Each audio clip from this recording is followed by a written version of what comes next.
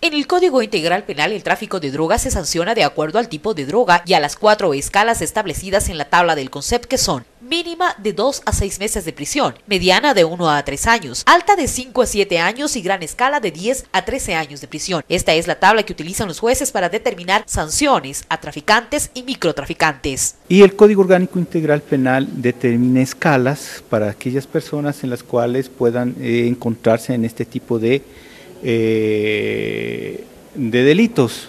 Específicamente el artículo 220, numeral 1, determina que hay eh, cuatro escalas y merecen determinados, eh, determinadas privaciones de libertad. Lo que se hace es verificar en qué escala se encuentra y aplicar en base a la tabla a qué nivel se debe de aplicar y eso merece una sanción.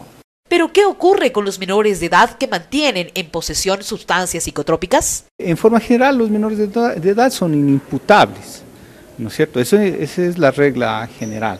Pero eso no quiere decir que no puedan llegar a ser motivo de algún proceso.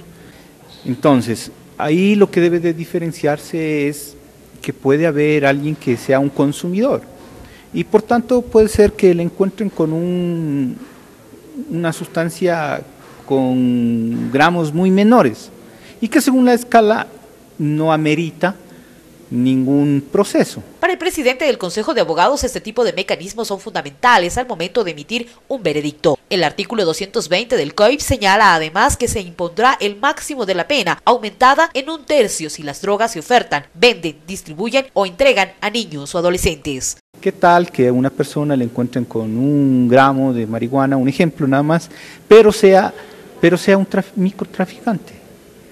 No importa si haya sido consumidor, entonces eso no importa.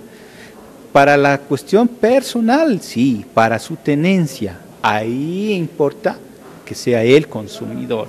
Pero si se demuestra que esta persona está haciendo un tráfico, vendiendo, ahí entra otro tipo de valoraciones. Imágenes de José Cedeño, Miriam Enríquez, El Informativo.